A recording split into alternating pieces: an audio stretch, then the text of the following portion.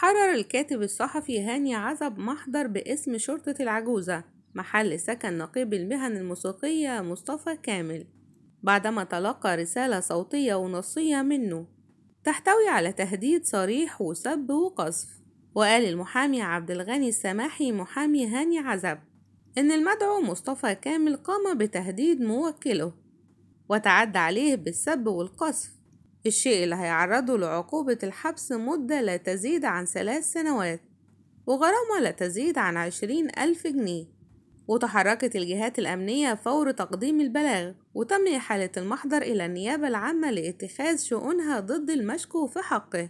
وكان نشر الصحفي هاني عزب خبر مدعم بالفيديو لحمو بيكا مؤدي المهرجانات أثناء غنائه على فلاشة.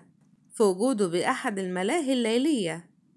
وكان حاضر الحفل نقيب الموسيقيين مصطفى كامل. وفي الفيديو بيظهر حمو بيكا وهو بيلقي التحية على النقيب.